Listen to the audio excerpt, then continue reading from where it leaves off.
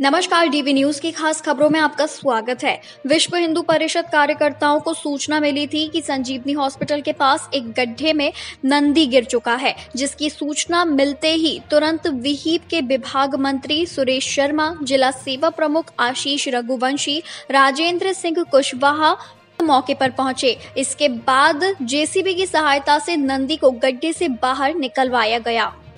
जिला गुना से नरेंद्र कुशवाहा की खास खबर और भी खास जानकारी के लिए बनी रहिए डीबी न्यूज़ के साथ।